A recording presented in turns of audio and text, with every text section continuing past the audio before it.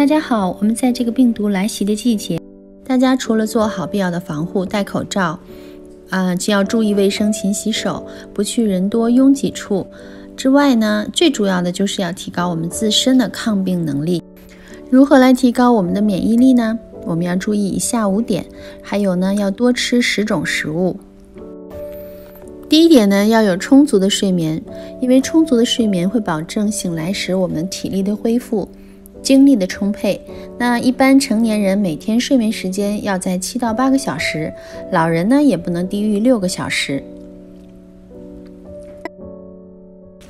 第二点呢，就是要坚持体育锻炼。根据研究报告显示，运动能够帮助我们冲洗肺部的细菌，还能够使白细胞流通更迅速，提高免疫系统的检测疾病的能力。所以呢，我们要选择一些适合我们自己的运动。比如说跑步、骑车、打羽毛球、游泳、瑜伽等运动都是非常不错的选择。第三点，多晒太阳。多晒太阳呢，有助于降低流感病毒以及其他常见呼吸道疾病的危害。一般呢，每次晒太阳的时间不要超过半个小时。晒完以后呢，我们可以搓热我们的双手，然后呢来按摩我们的脸部。这样做呢，有清心安神、舒缓疲劳的效果。第四点，多保持微笑。希望能够增加血液和唾液中的抗体以及免疫细胞的数量，还能够让副交感神经兴奋，降低肾上腺素水平，缓解疲劳，是提高免疫力的良药。第五点，除了以上介绍的四点之外呢，饮食也是非常的重要，要多吃富含营养的好食物，可以强化体内的免疫系统，降低疾病发生的几率，减缓症状，还可以加速身体的复原。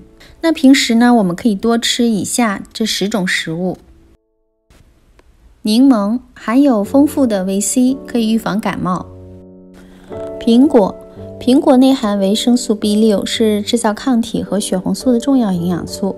除此之外呢，苹果还含有大量的纤维，可以帮助缓解身体的炎症。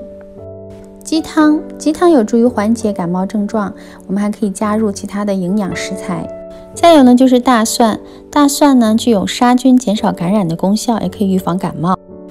葡萄柚，葡萄柚中含有大量的维生素 C，还可以帮助我们吸收其他必要的营养。生姜可以促进血液循环，提升免疫力。鼠尾草，我们可以用它呢来减缓喉咙痛、咳嗽和感冒的症状，通常呢可以做茶来饮用。洋甘菊茶。那洋甘菊花中呢含有黄酮类化合物，它有助于减轻发炎和疼痛。茴香，茴香呢含有丰富的钾，因此呢会有助于调节体内的液体，可以预防我们脱水。最后一个呢就是蔓越莓，蔓越莓中含有丰富的维他命 C、E 和多酚类花青素等抗氧化剂，可以增加抗体，提升我们的。免疫力。最后呢，希望大家都拥有健康的身体，远离疾病。